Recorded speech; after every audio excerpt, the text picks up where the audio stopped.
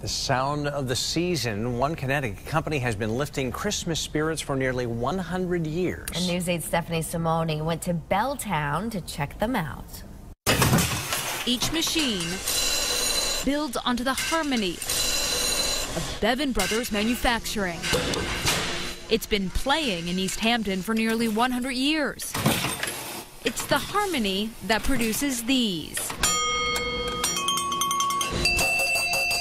Bevin is the last surviving bell maker in the country. Started by four brothers in 1932, it has always been family owned and operated, but it hasn't always been easy. In May of 2012, silence fell on the factory when flames tore through.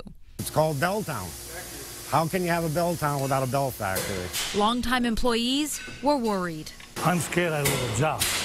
With the help of Belltown neighbors and the determination of owner Matthew Bevin, they were open within weeks. He is magic man. He come back very fast. Really, I'm so happy. I think all people is happy.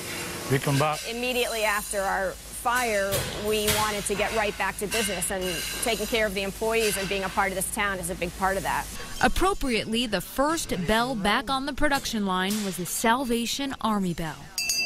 I think people are always surprised to hear the number of times that they've come across Bevin bells in their life. They make about 50 different types of bells here at Bevin Manufacturing, and this one has a certain ring to it, an angelic ring.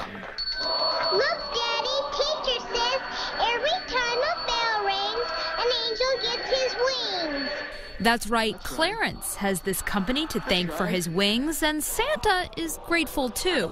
This time of year, We'll, we're sending out sleigh bells um, by the truckloads. This is a four pedal sleigh bell.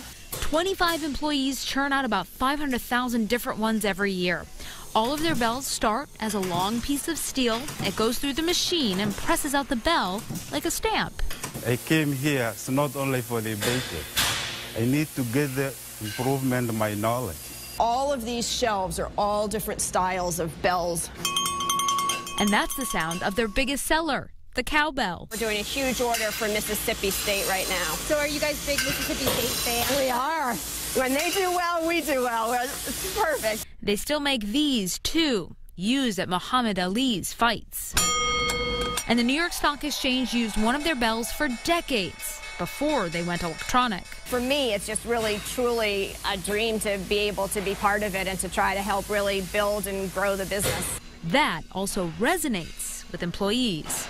There's nothing like uh, hearing the sweet sound of a Bevin bell chiming around the holidays. It gets you right in the spirit. To keep this harmony going and Belltown ringing for decades to come. In East Hampton, Stephanie Simone, News 8.